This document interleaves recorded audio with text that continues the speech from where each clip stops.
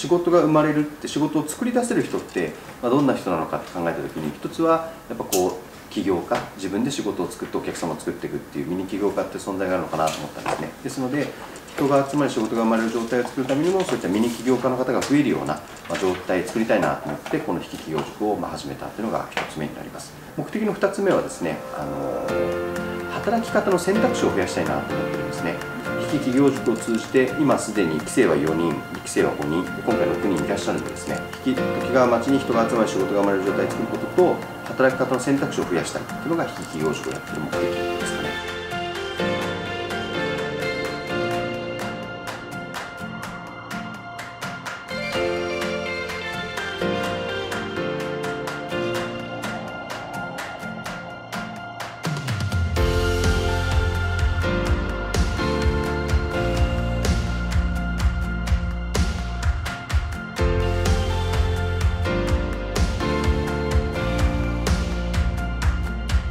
っていうとおこがましいんですよ。今引き企業塾3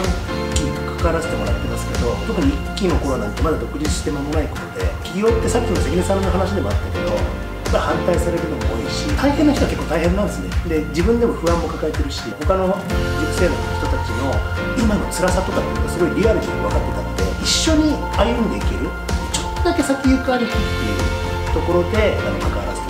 講師としての思いは自分で生み出していくっていうリアルを一緒に育んでいきたい。講師というよりはお役に立てるようなサポート役みたいな立ち位置ですね。皆さんと一緒にやってます。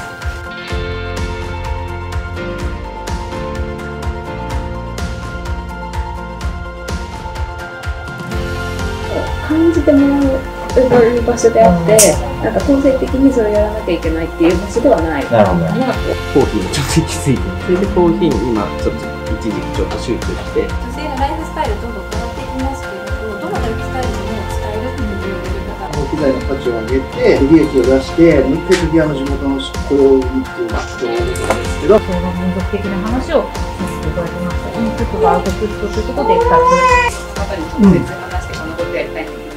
はいはいはい。してもらえませんか？みたいな声をかけて。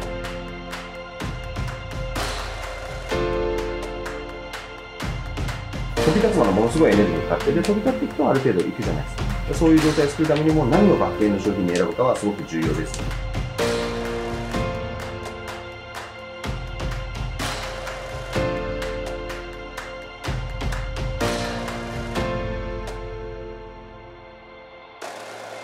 識があるとかじゃなくていいんです分かんなくても私だって今分かんないことだらけでとにかく動いてるんですよね。分かんないことをちゃんと分かんないっていうふうに相手に言える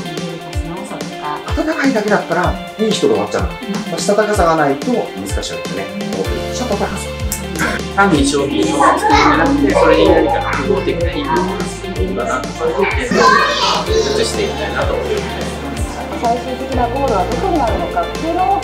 教育してもらいながら考えていきたいと思います。人は安心とか信頼とかマネとかやっぱ心に響いてそこからお金を出してくれるヒューマニティなんですけどそれをちょっと改めてました予想もしなかったアドバイスとかいろんな課題が増えた感じなんですけれども次回の楽しみですやるべきことが少しずつ具体的になってきたのでステップアップしてる気がします田舎で、まあ、暮らしていくにあたっても稼ぐっていうことが重要だと思っているので